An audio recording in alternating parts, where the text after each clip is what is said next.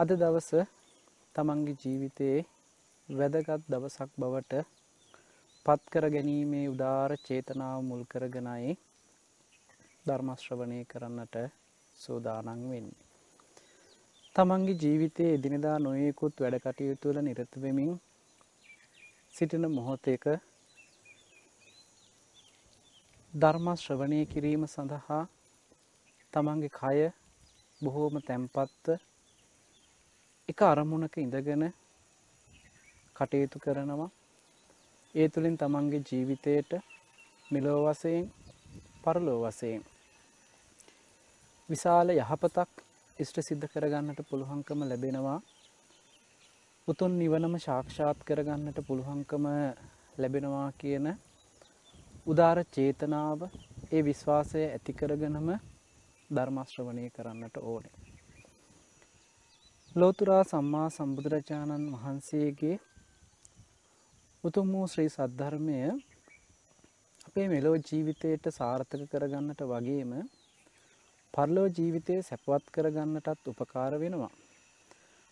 නමුත් ලෝතුරා සම්මා සම්බුදුරජාණන් වහන්සේ නමක් මේ ලෝකෙ පහළ වෙන්නේ තුන් ලෝකවාසී සත්වයන්ට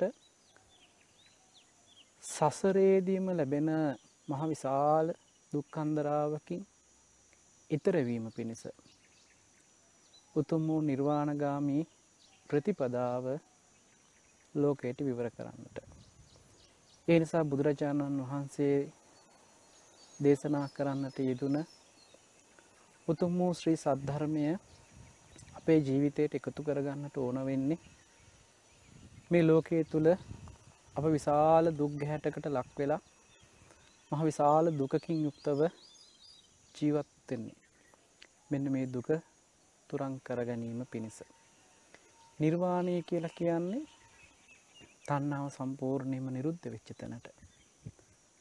බව ගමන සසර ගමන කෙලවර වෙච්ච තැනට. එහෙමනම් අපේ ඉලක්කය වෙන්නට ඕනේ නිර්වාණගාමී ප්‍රතිපදාවයි. ඒ නිසා ඔබ හැම දෙනාම තැම්පත් වෙලා කටයුතු කරන්නට ඕනේ තමන්ගේ ජීවිතයට අද දවසෙදේ ධර්මයෙන් මිදක් එකතු කරගන්නවා කියන චේතනාවේ. අද සමාජිකත්තහම ධර්මය කෙනා කෙනා විවිධාකාර විදිහට දකිනවා. කෙනෙක් තමන්ගේ ජීවිතයේ දුකක් කම්කටොල්ලක් ඇතිවෙච්ච වෙලාවට ධර්මය එකතු කරගන්නවා. සැප සතුට ළඟා වෙච්ච වෙලාවට ධර්මය මතකවත් නැහැ.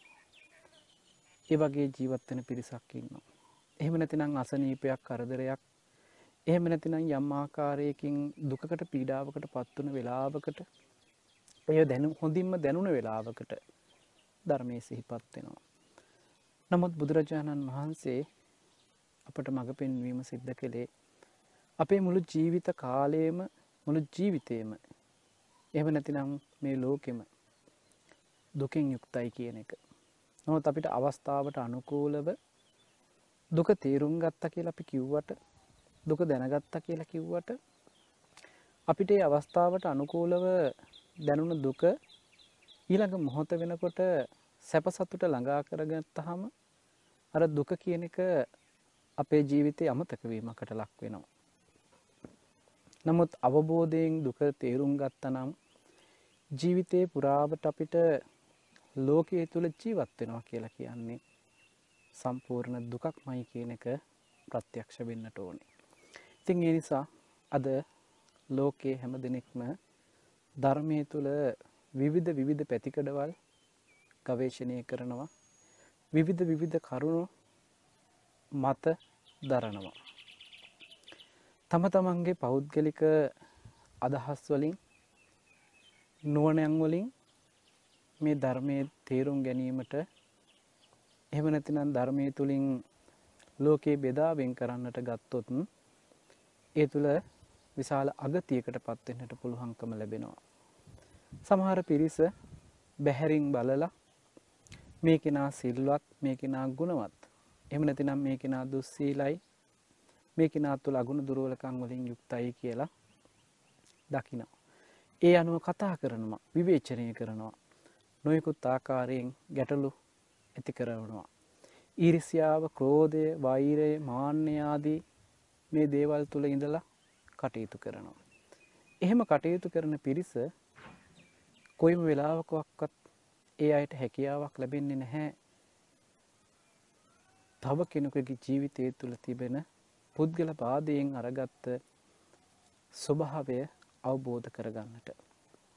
මේ සඳහා හරි ලස්සන සූත්‍ර දේශනාවක් හම්බ වෙනවා. සූත්‍ර පිටකයේ අංගුත්තර නිකායේ චක්ක නිපාතයට අයිති.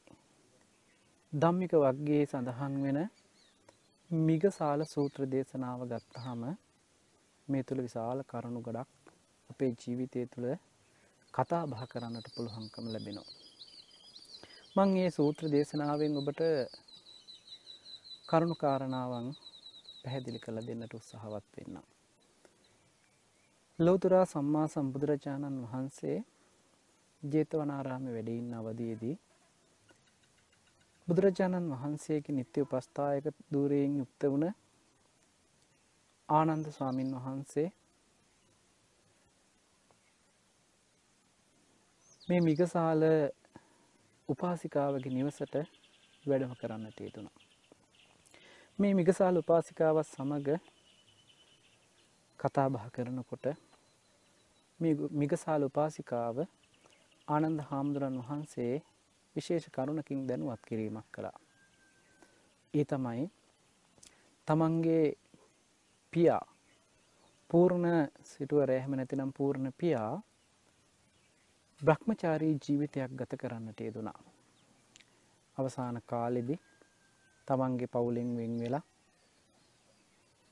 බ්‍රහ්මචාරීව ජීවත්වෙනට පුරුදු වෙලා කටයුතු කළා. කාලයාගේ ඇවෑමෙන් මිය පරලව යන්නට යෙදුනා. මේ පූර්ණ පියාණන් පිළිබඳව සම්මා සම්බුදුරජාණන් වහන්සේ එක අවස්ථාවක පැහැදිලි කරන්න දේශනා කළා විස්තර කළා මේ පූර්ණ පියා මිය පරලව ගිහිල්ලා තුසිත දිවලෝකයේ උප්පත්තියකට පත් වනා කියලා.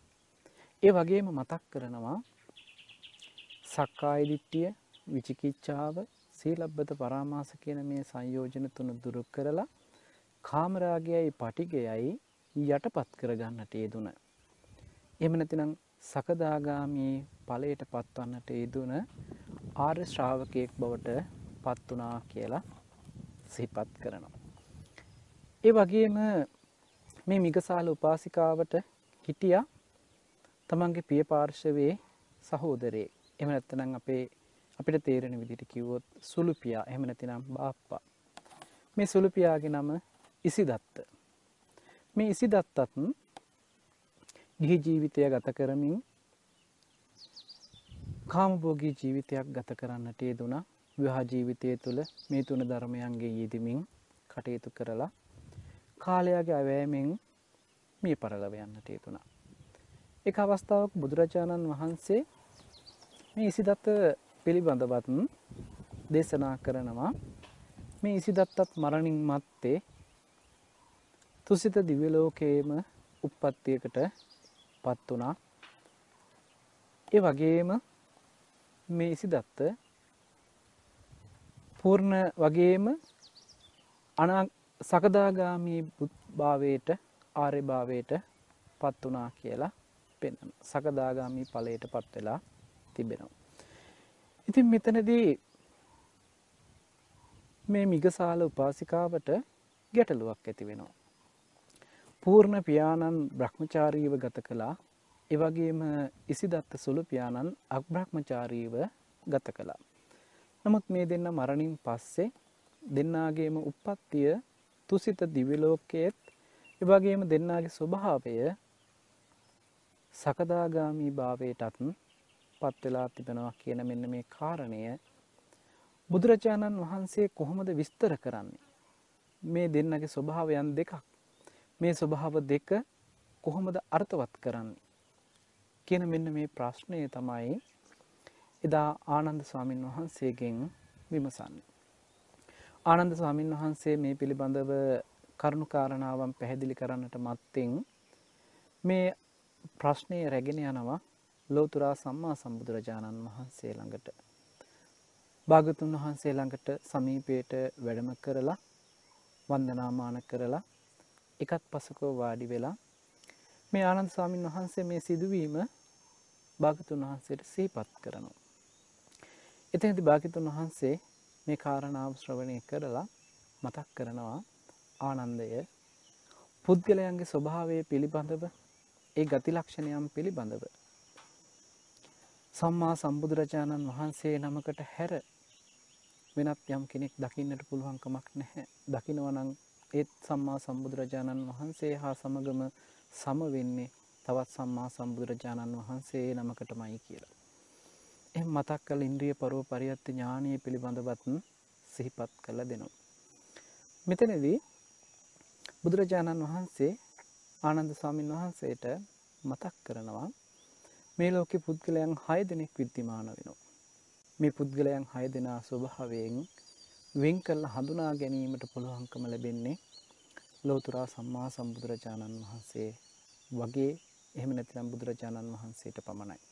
එහෙම නැතිනම් ඒ වගේ තවත් සම්මා සම්බුදුරජාණන් වහන්සේ නමකටම පමණයි කියලා. මිගසාල උපාසිකාවගේ නුවණ බොහොම ලාමකයි අව්‍යක්තයි බොහොම පටුවට හිතන්න පුළුවන් කෙනෙක්. එනිසා කොහොම හිතල කල්පනා කළත් මේ මිගසාල උපාසිකාවට පුළුවන්කමක් නෑ මේ දෙන්නගේ ස්වභාවය තේරුම් ගන්නට අවබෝධ කරගන්නට. මෙන මෙතනදී අපිට කල්පනා කරන්න වෙනවා අද වර්තමාන සමාජයේ ගත්තහම බැහැරින් බලලා සිල්වත් බව සහ දුස්සීල බව පිළිබඳව සමාජයේ නොයෙකුත් අදහස් දරනවා මති මතාන්තර දරනවා. නොයකුත් චෝදනා අපහාස එල්ල කරනවා. බැහැරින් බලලා ඒ විදිහට කල්පනා කළහාම ඒ අයගේ ජීවිතවලට අගතියක්ම සිද්ධ වෙනවා කියල බුදුරජාණන් වහන්සේ දේශනා කරනවා. ඒ නිසා මේ පුද්ගලයන් හය දෙනා පිළිබඳව මනාව තේරුම් අරගෙන කටයුතු කිරීම බෞද්ධයන් හැටියට අපි හැම කෙනෙකුගෙම යුතුකමක් වෙනවා. එනිසා බුදුරජාණන් වහන්සේ මේ පුද්ගලයන් පිළිබඳව දේශනා කරනවා. එක පුද්ගලයෙක් ඉන්නවා සෝරත පුද්ගලයෙක්. මේ සෝරත පුද්ගලය කියලා කෙන හික්මිච්ච කෙනෙක්. සීලය තුළ බොහොම හික්මිලා යහපත්ව කටයුතු කරනවා සක්බ්‍රහ්මචාරීන් වහන්සේලාගේ ඇසුර හොඳින්ම පවත්තගෙන යනවා. හැබැයි මෙහෙම කටයුතු කලාට මේ පුද්ගලයා ඇසීමෙන් එහෙම නැතිනම් ධර්ම ශ්‍රවණය කරලා එහෙම නැතිනම් දහම් කරුණු අහලා ඒ ඇසීමෙන් කළ යුතු කාරණා ටිකක් තියෙන හික්මිච්ච හික්මෙන්න ඕන ප්‍රහාණය කරන්නට ඕන ඒ සියලු කරුණු සිද්ධ කරන්නේ නැහැ. හික්මෙනව විතරයි. බොහොම සංවරව කටයුතු කරනවා විතරයි. නමුත් ධර්ම ශ්‍රවණය කරලා ඒ ශ්‍රවණය කරන ධර්මතාවයන්ට අනුකූලව කටයුතු කරන්නට පුරුදු වෙන්නේ නැහැ. බෞෂෘත භාවයකට පත්වෙන්නේ නැහැ. බොහෝ ඇසූ පිරූතැන් ඇතිව කටයුතු කරන්නේ නෑ. ඒවගේම තමයි දිට්ටියෙන් එහෙම නැතිනම් සම්මා දිට්ටියට පත්වීම සඳහා දිට්ටි සම්පන්නයෙක් බවට පත්වීම පිණිස දර්ශනයෙන් ප්‍රහාණය කළ යුතුදේ ප්‍රහාණය කරන්නේ නැහැ. මේ විදිහට කටයුතු නොකිරීම නිසා තැම්පත් වනත් බොහොම හික්මිච්ච කෙනෙක් වුණත් තැම්පත්ව විමුක්තියක් ලබන්නේ නැහැ. ඒවගේම කයිබිදීමෙන් මරණින් පස්සේ පිරිහීමකට ලක් වෙනවා. උසස් භාවයකට පැමිණෙන්ට පුළුවන්කමක් ලැබෙන්නේ නෑ. විශේෂගාමී බවකට එම නැතිනම් අධිගමයකට මාර්ග පලයකට පත්වෙන්නට පුළුවන්කමක් ලැබෙන්නේ නැහැ කියලා පෙන්න්නනවා. මේ පලවෙනි පුද්ගලයා. හොඳට හික්මනෝ බලපුහම හරිම සංවරයි. බලපුහම බැහැරින් බලපුහම කෙනෙකුට හිතෙනවා බොහෝම සංවරව බොහෝම හික්මෙච්ච කෙනෙක් කියලා. නමුත් ඒ කෙනගේ බැහැරින්ම බලලා තීරණයක් ගත්තට අපිට ඒත් පුද්ගලයා තුළ අන්තර්ගත වෙන අවබෝධය නුවන පිළිබඳව අපිට තේරුම් ගන්නට පුළුවන්කමක් ලැබෙන්නේ නැහැ. ව්‍යක්ත විසාරද පිරිසක් ඇසුරු කරන්නේ නැහැ ඒවගේ මේ ධර්ම කරුණු මෙනෙහි කරලා ඒවගේම දිට්ටි සම්පන්නයෙක් බවට පත්වීමට අවශ්‍ය කරන දර්ශනය පිළිබඳව හොයල බලල කටයුතු කරන්නේ නැහැ. ඒ නිසා මේ කෙනා පිරිහීමකට ලක් වෙනවා. කොච්චර සිල්වත් බවක් එහෙම නැතිනම් කොච්චර සංවර බවකින් යුක්තව කටයුතු කළත් ඒ කෙනාගේ ස්වභාවය බැහැරින් බලලා තීරණය කරන්නට පුළුවන්කමක් ලැබෙන්නේ නැහැ කියලා පෙන්වනවා. ඔන්න පළවෙනි පුද්ගලයාගේ ස්වභාවය. දෙවෙනි පුද්ගලයාගේ ස්වභාවය පෙන්නනවා මේ කෙනත් සෝරතයි බොහොම හික්මිච්ච කෙනෙක්. බොහොම සංවරයෙන් යුක්ත කෙනෙක්. හැබැයි මේ කෙනාගේ විශේෂත්වයක් තිබෙනවා. මේ කෙනා සබ්‍රහ්මචාරීන් වහන්සේලා ඇසුරු කරනවා. ඇසුරු කරලා ඇසීමෙන් දුරු කළ යුතු කටයුතු කළ යුතු දේ නොකළ යුතු දේ වෙන් කරලා හඳුනගෙන කළ යුතු දේ පමණක් ඉෂ්ට සිද්ධ කරනවා. ඒ වගේම බහුශ්‍රත භාවයෙන්ට යුක්තව කටයුතු කරන බොහෝ ඇසුව පිළිව තැන් පිළිබඳව මේ කෙනාට හොඳ නුවණක් තිබෙනවා. ධර්මයේ පිළිබඳව හොඳ නුවණක් තිබෙනවා. ඒ වගේම දිට්ඨි සම්පන්නෙක් වීමට කළ යුතු දර්ශනයෙන් ප්‍රහාණය කළ යුතු ධර්මයන් පිළිබඳව මනා වැටහීමක් අවබෝධයක් තිබෙනවා. ඒ අනුව කටයුතු කරනවා. ඒ වගේම ඒ පුද්ගලයා තැන්පත් වෙනවා විතරක් නෙමේ විමුක්තියක් ලබනවා. ධර්මයේ විමුක්තිය චේතෝ විමුක්තියක් පඤ්ඤා විමුක්තියක් ලබන්නට ඒ කෙනා සුදුස්සෙක් බවට පත් වෙනවා. කය බිඳීමෙන් මරණින් මත්තේ පිරිහීමකට ලක් වෙන්නේ නැහැ. ඒ කෙනා නැවත නැවතත් තව දුරටත් මාර්ගඵල අභියස ඉදිරියට ඉදිරියට ගමන් කරන පුද්ගලයෙක් බවට පත් වෙලා මේ ලෝකෙන් ඈතර වෙන ලෝකෝත්තර භාවයට පත් වෙන නිර්වාණගාමී ප්‍රතිපදාව පූර්ණේ කරන පුද්ගලයෙක් බවට පත් වෙනවා. උසස් භාවයටම පැමිණෙනවා විශේෂ අධිගමයන් වලටම ලක් වෙනවා කියලා පැහැදිලි කරනවා. දැන් අපි පුද්ගලයන් දෙන්නෙක් පිළිබඳව කතා කළා. පළවෙනි පුද්ගලයා හික්මෙනවා. හැබැයි හික්මුණාට ගුණධර්මයන් තුලින් ගත්තහම ආධ්‍යාත්මික පැත්ත දියුණු කරන්නට උත්සාහවත් වෙන්නේ නැහැ. බැහැරින් හික්මෙන පුද්ගලයෙක් බවට පත් වෙනවා. අද වර්තමානයේ අපි මේ චරිත දෙක අරගෙන කතා කළොත් කෙනෙකුට දකින්නට පුළුවන්කම තියෙයි. බොහෝසේ හික්මිච්ච බොහෝසේ සංවර වෙච්ච පුද්ගලයෝ. හැබැයි ඒ බැහැරින් කරන ලද හික්මීමක් සංවරකමක්. අපි බොහෝ දුරට පැහැදෙන්නේ අපහැදෙන්නේ මේ බැහැරින් තියෙන හික්මීමට. කෙනෙක් සමහර විට ස්වාමින් වහන්සේ නමක් වේවා. එහෙම නැතිනම් ගිහි පින්වත් කෙනෙක් වේවා. දකිනකොට ඒ පුද්ගලයාගේ බාහිර ස්වභාවය අනුව ඒ කෙනා හික්මිච්ච කෙනෙක් කියලා ඒ ස්වභාවයෙන් අපි තීරණය කරනවා. ඒ දිහා බලලා බොහෝම හොඳ යහපත් කෙනෙක් කියලා තීරණය කරනවා. නමුත් ඒ කෙනා හික්මිච්ච ස්වરૂපය රඟ දක්වන එහෙම නැතිනම් ඒ විදිහට අනුව පෙනී හිටින ඒ අනුව කටයුතු කරන කෙනෙක් වෙන්නට පුළුවන්. නමුත් ඒ කෙනාගේ ආධ්‍යාත්මික පැත්තෙන් ඒ කෙනාගේ ජීවිතය තුළ ගත්තාම අගුණ දුර්වලකම් ගොඩාක් අන්තර්ගත වෙන්නට පුළුවන්කම තිබෙනවා. නමුත් අපිට මේ කෙනාට චෝදනා කරන්නට අයිතියක් නැහැ. මේ කෙනා පිළිබඳව අපි හරියමං විදිහට අවබෝධ කරගන්න පුළුවන් හැකියාව අප සතු නැති නිසා. ඒ නිසා අපි ඒ කෙනාට චෝදනා කරන්නට බෑ කොයිම අවස්ථාවකවත් ඒ කෙනාගේ මට්ටමින් ඒ කෙනා සිල්වත් කෙනෙක් වෙන්නට පුළුවන්කම තිබෙනවා. අගුණ දුරුවලකං ආධ්‍යාත්මික පැත්තේ තියෙන්නට පුළුවන්. හැබැයි අපිට චෝදනා කරන්නට පුළුවන්කමක් නෑ චෝදනා කිරීම නිසාම අපේ ජීවිතය අගතියටම පත්වෙන්නට දුගතියට පත්වෙන්නට හේතුවක් වෙනවා. ඉළඟ දෙවැනි පුද්ගලයා සෝරතයි හික්මෙනවා. හික්මෙනෝ විතරක් නෙමේ ආධ්‍යාත්මික පැත්තෙනුත් මේ කෙනාගේ ජීවිතය දියුණු කරගන්නට උත්සාහවත් වෙන කෙනෙක්.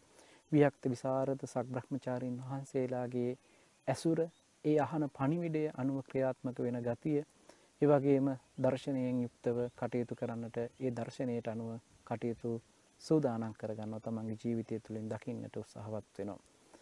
හැබැ මේ කෙනාගේ බැහැර ස්වභාවය හික්මිච්චි ස්වභාවයකින් යුක්තයි. හැබැයි ආධ්‍යාත්මික පැත්ත මේ කෙනා ගීට වැඩිය මහා විශාල වසයෙන් දකින්නට පුළුවන්කම තිබෙනවා.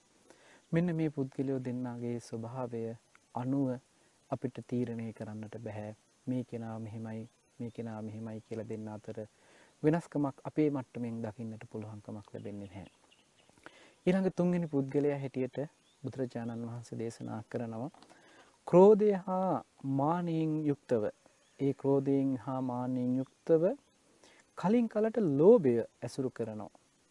එක පුද්ගලයෙක් ඉන්නවා ක්‍රෝධය සහ මාන්නේ තියෙනවා. මේ පුද්ගලයා තුළ කලින් කලට ලෝභ සහගත ස්වභාවයන් ඇසුරු කරනවා. බැලූ බැල්මටම ක්‍රෝධයෙන් සහ මාන්‍යයෙන් ඉන්න පුද්ගලයෙක් අපිට විද්‍යමාන වෙනවා. මේ ක්‍රෝධයෙන් හා මාන්‍යයෙන් යුක්තව දකින මේ පුද්ගලයාගේ අවස්ථාවට අනුකූලව ලෝභ සහගත ස්වභාවයක් දකින්නට ලැබෙනවා. ලෝභ සහගත ස්වභාවයේ දකිනකොට අපිට තීරණය වෙනවා මේ කෙනා නම් කිසිම හික්මීමක් නැති කිසිම ධර්මයක හික්මිලා නැති පුද්ගලයෙක් හැටියට. නමුත් පින්වත්නි සමහර ලෝභය සහ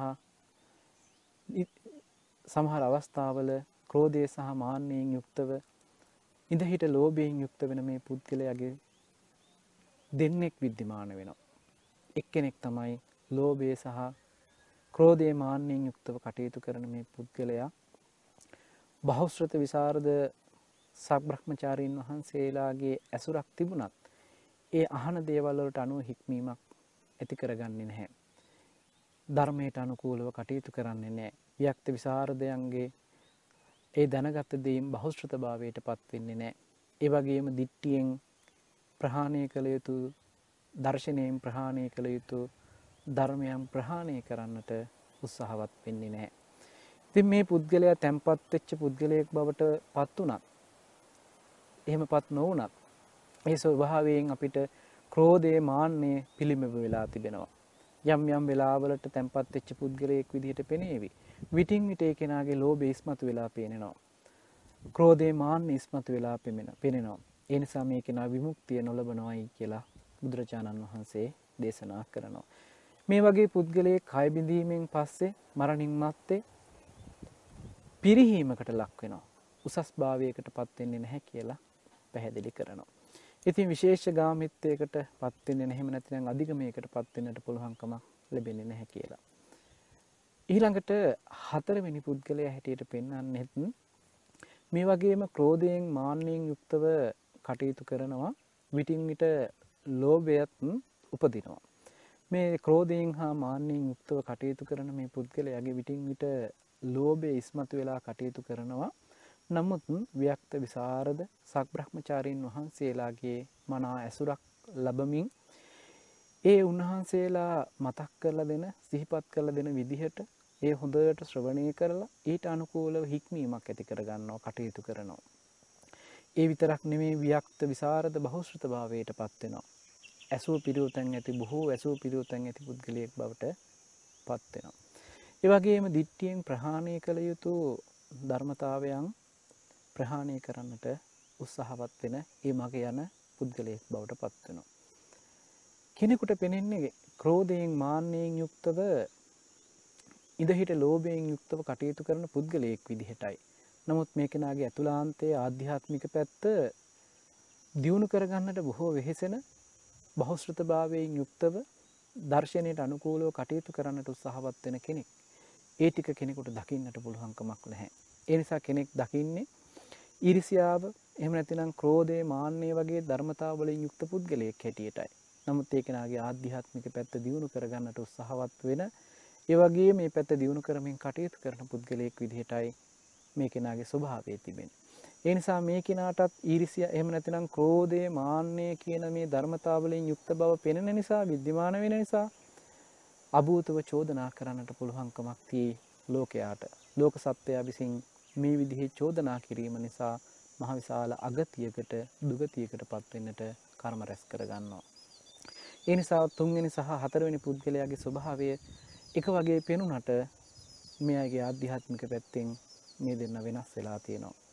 ඊළඟට පස්වෙනි සහ හයවෙනි පුද්ගලයෝ පිළිබඳව ගත්තාම ක්‍රෝධය හා මාන්නය කියන මේ දෙකෙන් යුක්තව මේ අය කතා බහ කරනකොට බොහෝම දේශ සහගත වචන ඉදිරිපත් වෙනවා. විතර්කයන් වචී වචී සංකාරයන් බොහොම ක්‍රෝධයෙන් සහ මාන්නයෙන් යුක්තව කතා බහ කරන්නේ.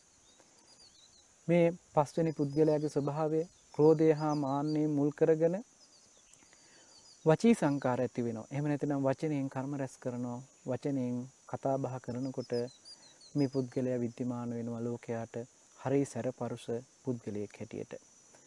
මේ කෙනාගේ මේ සැරපරුස භාවය දකින කෙනෙකුට ඒ කෙනාගේ ආධ්‍යාත්මික පැත්ත දකින්නට පුළුවන්කමක් නොලැබෙනවා. නමුත් පස්වෙනි පුද්ගලයාගේ තුළ මේ විදියට ක්‍රෝධය සහ මාන්නේ මුල් කරගෙන කටයුතු කිරීම තුළ ව්‍යක්ත විසරද බහුශ්‍රත භාවය කියන කාරණාවලට පත්වෙන්නේ නැහැ. ඒ වගේම සක්බ්‍රහ්මචාරීන් වහන්සේලාගේ ඇසුරෙන් ලබන්නට තිබෙන දැනමුතුකං අරගෙන ඊට අනුව ශ්‍රවණය කරලා කටයුතු කරලා තමන්ගේ ජීවිතය සකස් කරගන්නට උත්සාහවත් වෙන්නේ නෑ. ඒ වගේම ශාසනයේ පෙන්වන දර්ශනයෙන් යුක්තව කටයුතු කරලා ඒ දර්ශන ප්‍රතිපදාවෙන් ප්‍රහාණය කරන්නට ඕන කෙලෙස් ධර්මයන් ප්‍රහාණය කරන්නට උත්සාහවත් වෙන්නේ නැහැ. ඒ අනුව මේ කෙනා තැම්පත් නොවුන ඒ වගේම විමුක්තිය ලබන්න පුළුවන් පුද්ගලයෙක් බවට පත්වෙන්නේ නැහැ. තැන්පත් වන බවක් පේනට නැහැ දකින්නට ලැබෙන්න්නම මේ කෙනාගේ කලාකාරී වචන කතා කළොත් වෛරයෙන් ක්‍රෝධයෙන් යුක්තව මාන්‍යයෙන් යුක්ත වචනයක්මයි අහන්නට ලැබෙන්නේ. ඉතින් මේ කෙනා කයිබිඳීමෙන් මරණින් මත්තේ පිරිහීමකට ලක් වෙනවා. ඒ වගේ මුසස් භාවයකට පැමිණෙන්නේ නැහැ. දුගතියකට පත්වෙන්නට පුළුවන්කම ලැබෙනවා.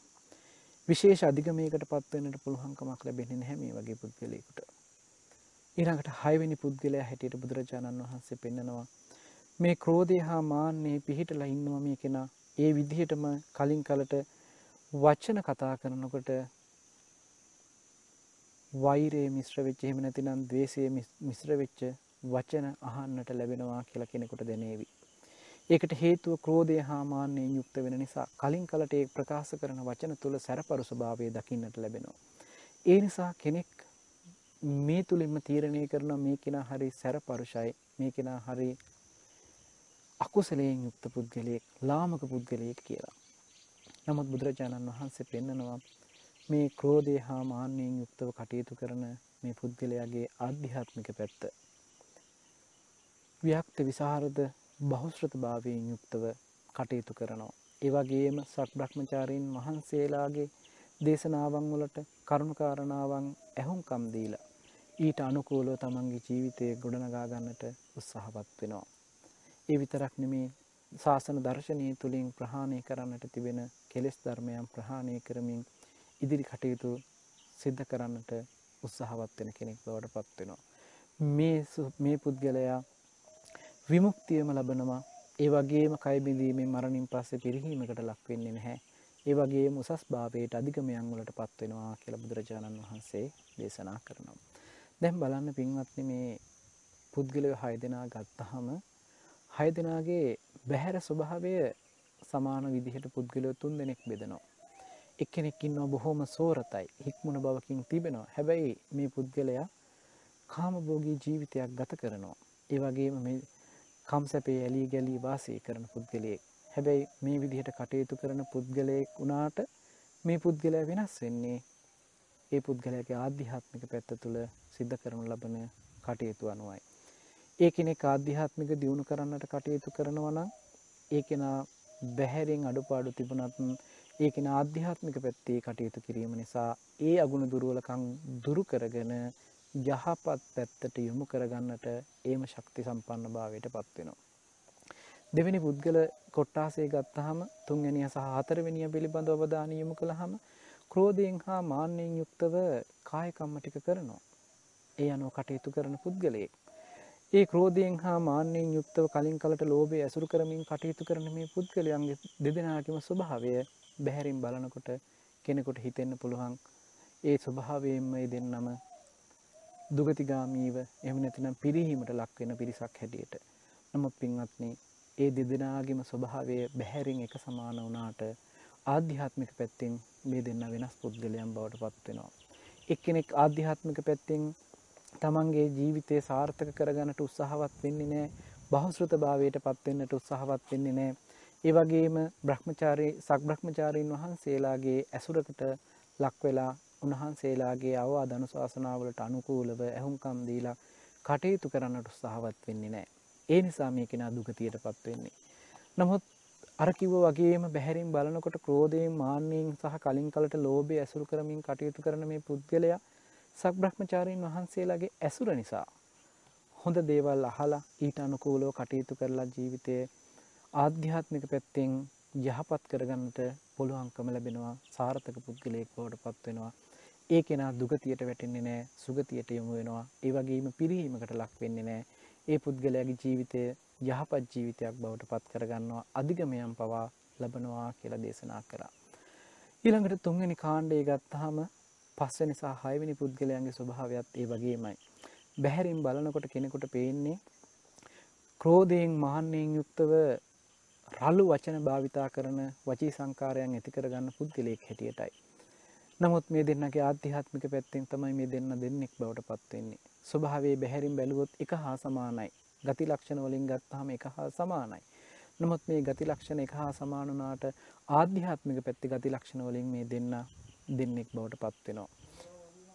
ඊට හේතුව තමයි පින්වත්නේ මේ දෙන්නගේ ස්වභාවය ගත්තහම එක්කෙනෙක් බ්‍රහ්මචාරි එහෙම නැත්නම් සබ්‍රහ්මචාරීන් වහන්සේලාගේ ඒ අනුශාසකත්වයන් ශ්‍රවණය කරලා ඊට අනුකූලව තමන්ගේ ජීවිතය සාර්ථක කරගන්නට උත්සාහවත් වෙන්නේ නැහැ. වික්ත විසරද බහුශ්‍රත භාවයකට පත් වෙන්නේ නැහැ. ඒ වගේම දහමට අනුකූලව කටයුතු කරලා දර්ශනීයෙන් කටයුතු කරන්නට උත්සාහවත් වෙන්නේ නැහැ. දර්ශන සම්පත්තියකට පත් වෙන්නට උත්සාහවත් වෙන්නේ නැහැ. නමුත් මේ කෙනාගේ ස්වභාවයෙන්ම මේ කෙනා ක්‍රෝධයෙන් මාන්නෙන් සහ වචී සංකාර ගත්තාම රළු වචී සංකාරයන්ගෙන් යුක්ත භාවයට පත් වෙනවා. ඊළඟට අනිත් පුද්ගලයා ගත්තාම පින්වත්නි මේ ස්වභාවයෙන්ම යුක්තයි. නමුත් ආධ්‍යාත්මික පැත්තෙන් වික්ත විසරද බහුශ්‍රත භාවයට පත්වෙච්ච කෙනෙක්. ඒ වගේම සක්බ්‍රහ්මචාරීන් වහන්සේලාගේ මඟ පෙන්වීමට අනුව කටයුතු කරන පුද්ගලයෙක් බවට පත් වෙනවා. ඒ නිසා ශාසන දර්ශනයෙන් යුක්තව කටයුතු කරලා ජීවිතේ සාර්ථක කරගන්නට උත්සාහවත් වෙන කෙනෙක් බවට පත් වෙනවා. ඒ නිසා මේ කෙනා ජීවිතේ පිරිහෙන්නේ නැහැ. මේ කෙනා ජීවිතය තුළ තව තවත් ඉදිරියට ඉදිරියටම යන පුද්ගලයෙක් බවට පත් වෙනවා. ඒ වගේම ආධ්‍යාත්මික ජීවිතය දියුණු කරගෙන ලෝකෝත්තර භූමියට පවා පත් වෙන්නට උත්සාහවත් වෙන පුද්ගලයෙක් බවට පත් වෙනවා. ඉතින් මෙන්න මේ පුද්ගලයන් 6 දෙනා පිළිබඳව කතා කරලා බුදුරජාණන් වහන්සේ පෙන්නනවා මේ පූර්ණ සහ ඉසිදත්ත දෙන්න අතර තියෙන ස්වභාවය පිළිබඳව. පූර්ණ කියලා කියන්නේ සීලයෙන් යුක්ත පුද්ගලයෙක්. බ්‍රහ්මචාරීව කටයුතු කළා. මේ මිගසාල උපාසිකාවගේ පියාණන් බ්‍රහ්මචාරීව කටයුතු කළා. ඒ බ්‍රහ්මචාරීව කටයුතු කරපු පුද්ගලයා මරණින් පස්සේ සකදාගාමි භාවයට පත් වෙලා තුසිත දිව්‍ය ලෝකෙ ඉපදුනා කියලා මම මුලින් සඳහන් කළා සූත්‍ර දේශනාවේ සඳහන් වෙච්ච පරිදි. ඉතින් මෙතනදී බුදුරජාණන් වහන්සේ මතක් කරනවා පූර්ණ කියන මේ පුද්ගලයාට සීලය මුල් කරගත්ත සීලය මුල් කර ගැනීමෙන් ප්‍රතිපදාව ආරම්භ වෙලා ඒ තුලින් ප්‍රඥාව ආරම්භ වෙන කෙනෙක් බවට පත් වෙනවා. එහෙමනම් මේ කෙනාගේ මූලිකත්වය පූර්ණ එහෙම නැතිනම් පූර්ණගේ ආරම්භයේ තියෙන්නේ සීලය මුල් කරගෙනයි. ඒ නිසා සීල සම්පදායෙන් යුක්තයි පූර්ණ. නමුත් මේ පූර්ණ සීලය හොඳට සංවරයෙන් යුක්තව කටයුතු කළා විතරක් නෙමෙයි.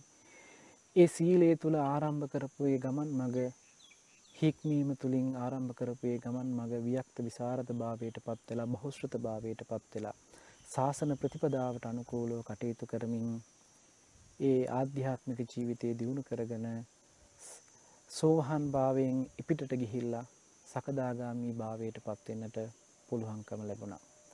ඊළඟට ඉසිදත්ත කියලා කියන්නේ අබ්‍රහ්මචාරී බ්‍රහ්මචාරීව ගතක තෙරෙ නැහැ. අබ්‍රහ්මචාරීවයි කටයුතු කළේ. ගිහි ජීවිතයක අබ්‍රහ්මචාරීව කටයුතු කළා. මෙහා ජීවිතයක් තුළ ඒ මේ තුන ධර්මයන්ගෙන් යුක්තව ඒ සමාජය තුළ ඉඳමින් කටයුතු කරමින් ජීවත් වෙච්ච කෙනෙක් තමයි මේ ඉසිදත්ත කියලා කියන්නේ. නමුත් මේ ඉසිදත්තගේ ප්‍රඥා මට්ටම අති ප්‍රබලයි අති විශාලයි පූර්ණට වඩා ප්‍රඥාවෙන් වැඩි මේ ඉසිදත්තගේ ස්වභාවය. ඒ නිසා බුදුරජාණන් වහන්සේ පෙන්වනවා ඉසිදත්ත ප්‍රඥා මූලික පුද්ගලයෙක් හැටියට.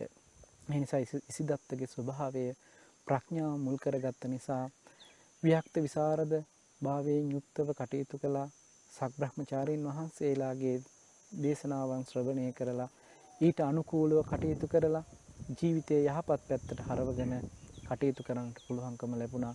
ඒ නිසා ප්‍රඥාව මුල් කරගෙන සීලය රකින්නට ඕනේ ආකාරය පිළිබඳව කල්පනා කරලා ප්‍රඥාවෙන් යුක්තව මේ කෙනාගේ සීලය සම්පූර්ණ කරගන්න වැඩපිළිවෙලට යොමු වුණා. ඒ තුල කටයුතු කරලා දර්ශනයෙන් ප්‍රහාණය වෙන්නට ඕන කෙලෙස් ධර්මයන් ප්‍රහාණය කරලා මේ ශාසන ප්‍රතිපදාව තුළ සකදාගාමී භූමියට පත් වෙන්නට පුළුවන්කම ලැබුණා. ඉතින් මේ ඉසිදත්තගේ සහ පූර්ණගේ ස්වභාවයන් පිළිබඳවයි මම ඔබට මතක් කළේ බුදුරජාණන් වහන්සේ දේශනා කළ ධර්ම කාරණාවන් වලට අනුකූලව. ඉතින් අප සමාජය තුළ ජීවත් වෙනකොට අපිට මේ දෙපිරිසම මුණ ගැහෙනවා. මේ විදිහේ දෙපිරිසක් මුණ ගැහුණට අපිට මනින්නට පුළුවන්කම ලැබිලා තියෙන්නේ බැහැර තියෙන ගති ලක්ෂණ ටිකෙන් විතරයි. නමුත් සමහර විට මාර්ගඵල ලැබපු ආර්ය උත්තමයන් වහන්සේ ලබින්නට පුළුවන්. ඒ මග වඩන ආරයන් වහන්සේලා බවට පත්වෙන්නට යොමු වෙච්ච පිරිසක් වෙන්නට පුළුවන්. නමුත් අපිට පේනවා සම් යම් යම් අඩුපාඩුකම් දුර්වලකම් පේන්න පුළුවන්. අපි අභූතව චෝදනා කළා වෙනවා ඒ අයට ශාසනික තුල මේ කියන ධර්මතාවයන් වලට අනුකූලව. අපි යම් කෙනෙකුට චෝදනා මුඛයෙන් අපහාස මුඛයෙන් කතා කළොත් ඒ තුළ සාධාරණ භාවයක් අපිට පෙන්වන්නට පුළුවන්කම ලැබෙයි. බැහැර පවතින ස්වභාවය අනුව. නමුත් අපි ඇගේ ආධ්‍යාත්මික ජීවිතවල තිබෙන සාරය යථාර්ථය අපි තේරුම් අරගෙන කටයුතු කරන පුරිසක් විදිහට නෙමෙයි කටයුතු කරලා තිබෙන්නේ.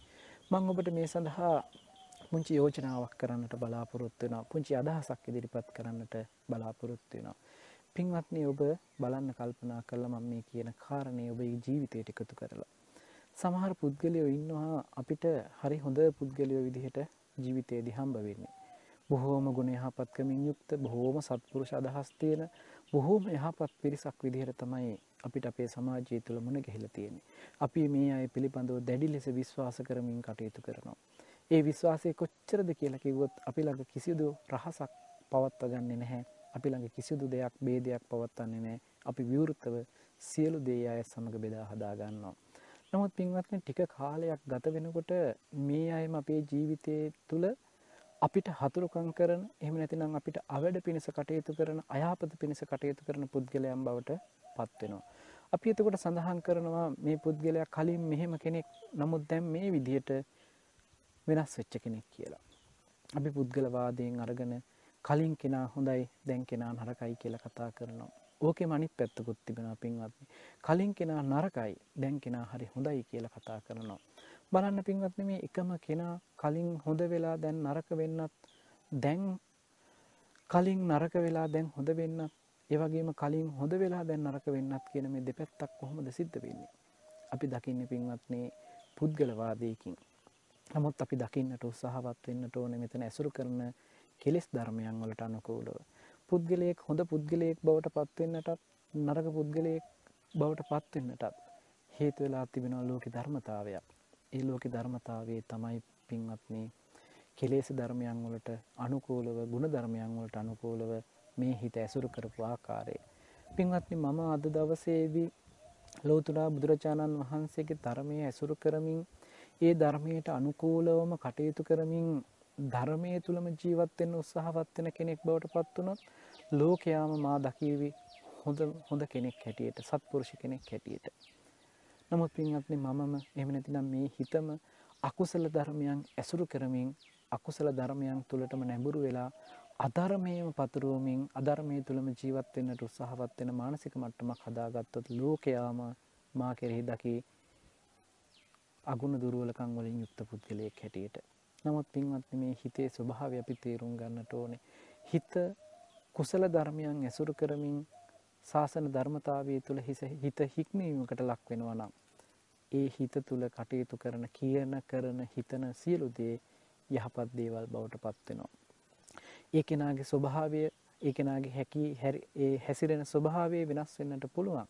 නමුත් ඒ කෙනාගේ ආධ්‍යාත්මික පැත්තෙන් ඒ ජීවිතේ බොහොම යහපත් ජීවිතයක් ධර්මානුකූල ජීවිතයක් බවට පත්වෙනවා.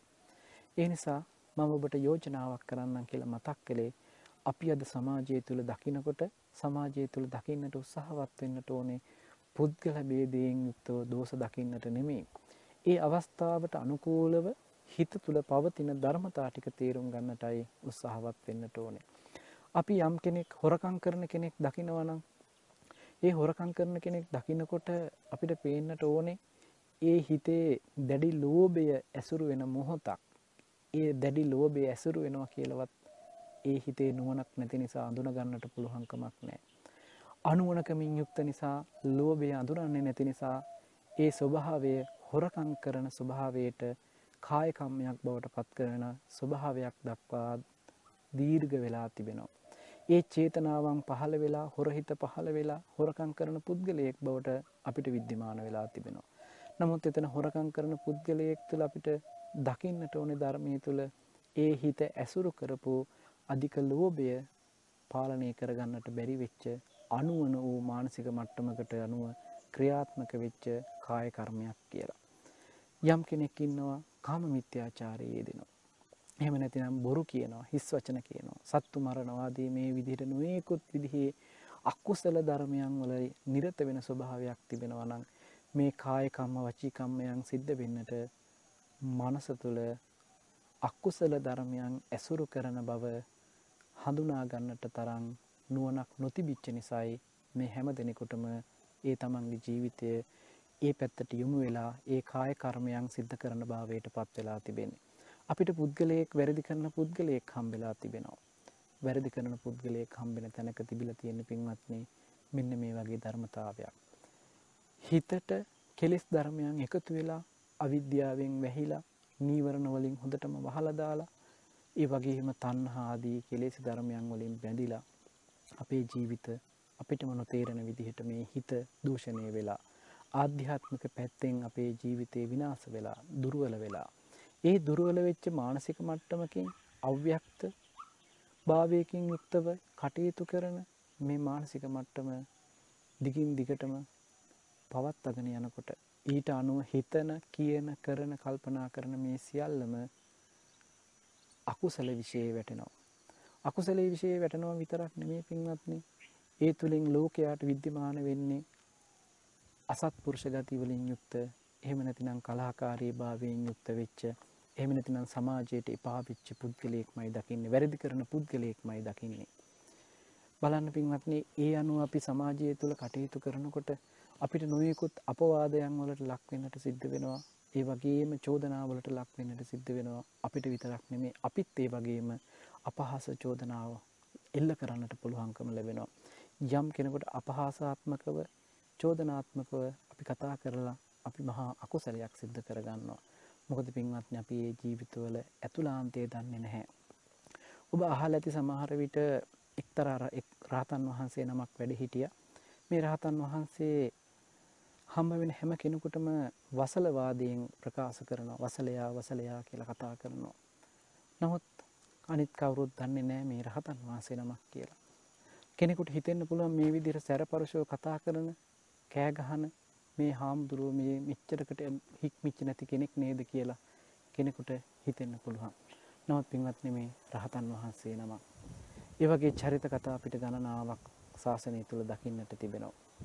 ඒ මොකද ඒ ගති ලක්ෂණ තිබුණට ඒ ස්වභාව ලක්ෂණ තිබුණට ආධ්‍යාත්මික පැත්තෙන් මේ චරිත මේ ජීවිත මහා ශ්‍රේෂ්ඨ චරිත බවට පත් වෙලා තිබෙනවා.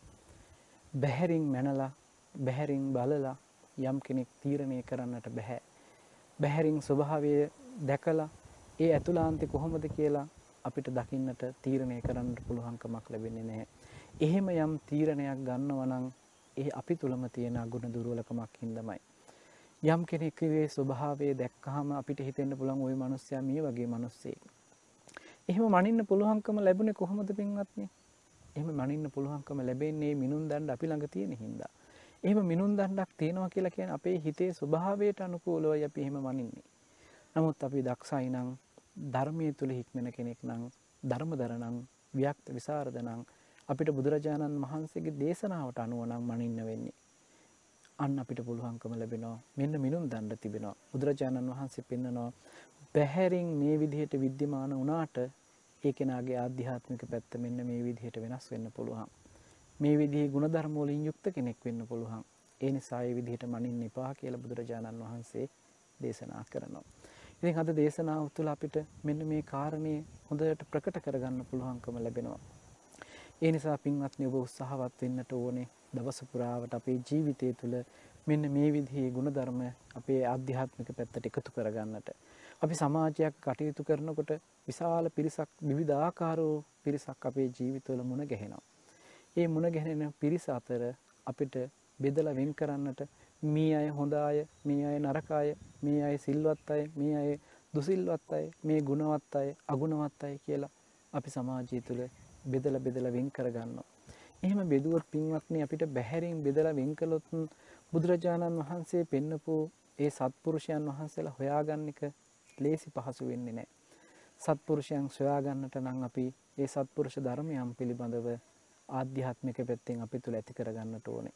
අපේ ජීවිතය තුළ සත්පුරුෂකම ඇති කරගත්තොත් ධර්මානුකූල වියක්ත විසරද බහුශ්‍රත භාවය ඇති කරගත්තොත් මෙන්න මේ තුළ තමයි අපිට බැහැර සමාජය දකින්නට පුළුවන්කම තියෙන. කෙනෙක් සමහර විට දකිනවා වෙන්න පුළුවන් තමන්ගේ ජීවිතයට විශාල හානියක් පමුණුවන්නට එන පුද්ගලයෙක්.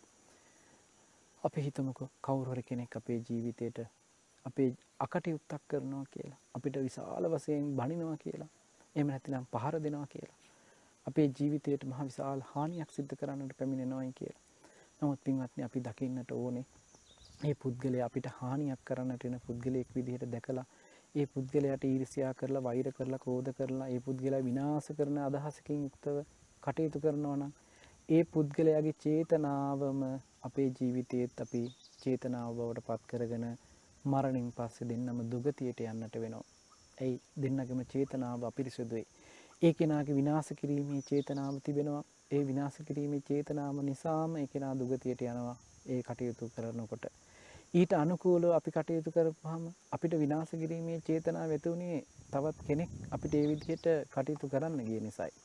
ඒ නිසා අපිත් ඒ මට්ටමටම ඒ ගති ලක්ෂණම ඇති කරගත්තොත් ආධ්‍යාත්මික පැත්තෙන් අපි කොච්චර සිල්වත් ගුණවත් භාවයක් තමන්ගේ ජීවිත තුළ හදාගන්න උත්සාහවත් වෙලා සිල්වත්ව කටයුතු කළත් නමුත් අපි ආධ්‍යාත්මික පැත්තෙන් අපි පිරිහිලා අපේ ආධ්‍යාත්මික පැත්තෙන් අපි ඊරිසියාව ක්‍රෝධය වෛරය මාන්නය කියන මේ කෙලෙස් ධර්මයන් වලට ඇසුරු කරන්න ඉඩ දීලා. ඒ අනුව කටයුතු කරන්න ඉඩ දීලා. එහෙමනම් බැහැරින් පේන පුද්ගල භාවය තුළ බැහැරින් පේන පුද්ගලයා සත්තු මරණ හොරකං කරන කාම මිත්‍යාචාරයේ යෙදෙන බොරු කියන හිස් කේලම් පරුස වචන ආදීන් යුක්තව කටයුතු කරන කෙනෙක් තුසිල්වත් කෙනෙක් බවට පත් වෙනවා. ඒ කෙනාගේ ආධ්‍යාත්මික පැත්තත් පිරිහෙලා. නමුත් බැහැරට පේනවා අපි හොඳ සිල්වත් ගුණවත් අය. සිල්වත් බවින් ගුණවත් බවින් යුක්තව ඉන්න අපිට අපේ ජීවිතය ආධ්‍යාත්මික පැත්තෙන් අපි පිරිහිලා. මොකද ඊර්ෂ්‍යාව ක්‍රෝධය වෛරේ මාන්‍ය ආදී කුහකකම් ආදී මේ කෙලෙස් ධර්මයන්ගෙන් අපේ ජීවිතය පෝෂණය කරලා නම් අපිත් ආධ්‍යාත්මිකව පිරිහිලා. සිල්වත් බවින් යුක්ත බව පෙනේවි. අපි සිල්වත්ව කටයුතුත් කරන බව තියේවි. නමුත් ආධ්‍යාත්මික පැත්තෙන් අපි පිරිහිලා නම් දෙන්නගෙම ස්වභාවය දුගතියටම පත්වෙන ස්වභාවයක් අගතියට පත්වෙන ස්වභාවයක් පිරිහීමකට පත්වෙන ස්වභාවයක්. නමුත් පින්වත්නි බුදුරජාණන් වහන්සේ පෙන්න්නනවා අපිට අපේ ජීවිතය කොහොමද හැඩගස්වා ගන්නට ඕන කියලා.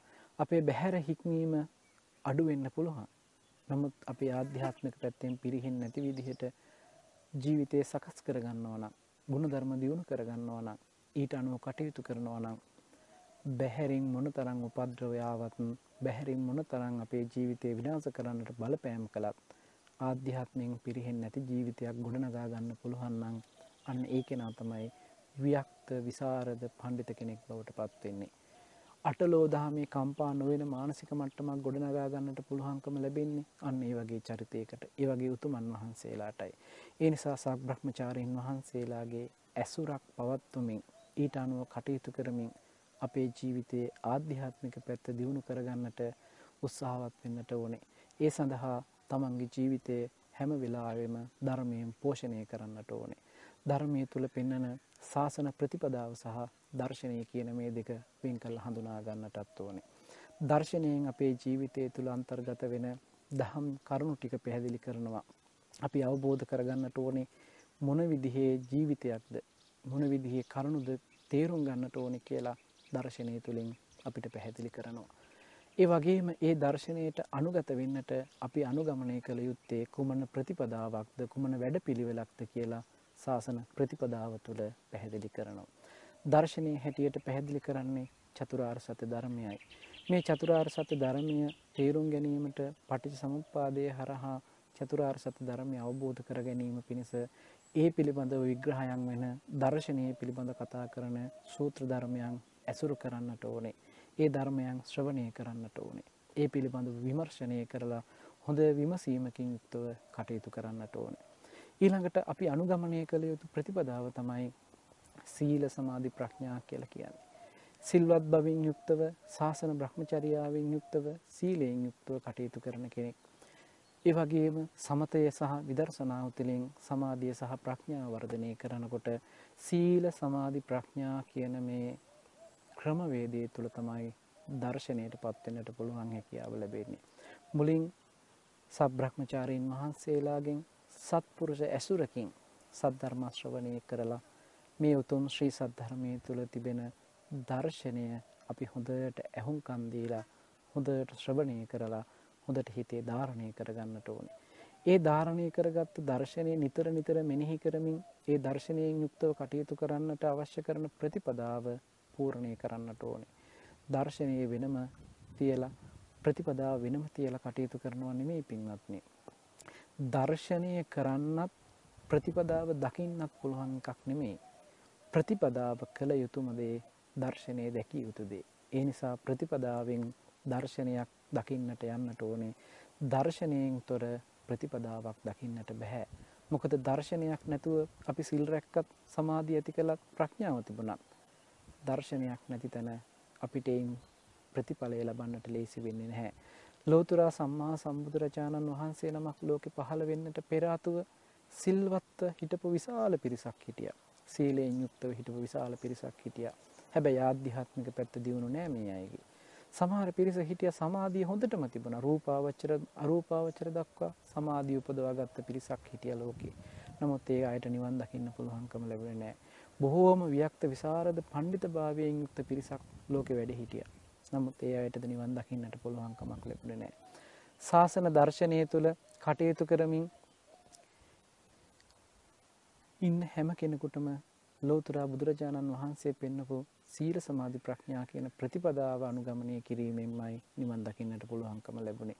සීලයෙන්වත් සමාධියෙන්වත් ප්‍රඥාවෙන්වත් මේ ශාසනය නිවන් දකින්න බෑ දර්ශනය නැතුව. හැබැයි දර්ශනය තිබුණ පමණකින් නිවන් දකින්නට බැහැ සීල් සමාධි ප්‍රඥා කියන මේ ප්‍රතිපදාව පූර්ණය කරන්නට ඕනේ. දර්ශනය දෙකපු කෙනා දන්න කෙනා අහලා දැනගත්ත කෙනා යම් දවසක සිල් රකිනවා නම් ඒ සිල් රකින්නේ දර්ශනයට අනුවමයි. යම් දවසක සමාධිය පොදව ගන්නවා නම් ඒ දර්ශනයෙන් යුක්ත වූ සමාධියක්මයි. යම් දවසක ප්‍රඥාවෙන් යුක්තව කටයුතු කරනවා නම් ඒ මේ දර්ශනයෙන් යුක්ත වූ ප්‍රඥාවක්මයි. සීල සමාධි ප්‍රඥා දර්ශනය ඉලක්ක කරලා තියෙනවා දර්ශනය සීල සමාධි ප්‍රඥා නිවැරදි කරනවා. ඒ නිසා පින්වත්නි ඔබ හැම දෙනාම අද දවසේදී සීල සමාධි ප්‍රඥා තුළින් දර්ශනය දකින්නට උත්සාහවත් වෙන පින්වත් පිරිසක් බවට පත් වෙන්නට මේ කළ දේශනාවද උපකාර වේවා කියලා සාදු කියලා ප්‍රාර්ථනා කරන්නට අද දවසේදී මම ඔබ හැම දිනාටම සිහිපත් කරන්නට යෙදුනේ මිගසාල සූත්‍ර දේශනාව ඇසුරෙන් අද වර්තමානයේ තුල කෙනා කෙනාට අපි නොයෙකුත් විදිහේ චෝදනා කරමින් උපහාස අපහාසයන් ලක් කරමින් සමාජය තුල වෙන් කරලා පුද්ගල භාවයෙන් අපි යම් කෙනෙකුට දෝෂාරෝපණය කරනවා නම් ශාසන ක්‍රමවේදය තුළ ඒ සුදුසු නෑ කියන කාරණාව සිහිපත් කළ දෙන්නටයි. ඒ නිසා අපි හැම දෙනෙක් මුත්සාහවත් වෙන්නට ඕනේ පින්වත්නි. ජීවිතය තුළින් ධර්මයේ දැකලා ධර්මයට අනුකූලව කටයුතු කරලා මේ ශාසන ප්‍රතිපදාව තුළ ආධ්‍යාත්මික පැත්ත දියුණු කරගෙන නිවන් දකින ගමන වැඩපිළිවෙල සකස් කර ගැනීමටයි. ඒ සඳහා මේ දේශනාව උපකාරයක් වේවා කියලා හැම දිනාටම ආශිර්වාද කරනවා.